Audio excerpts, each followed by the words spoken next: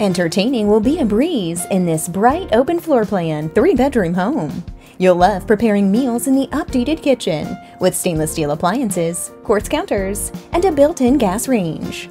The oversized primary bedroom features two walk in closets and a remodeled ensuite with modern finishes. Gorgeous French patio doors in the living room and primary bedroom lead to a large covered back patio area with stamped concrete. Act now and make this home yours by calling Nick Rogers.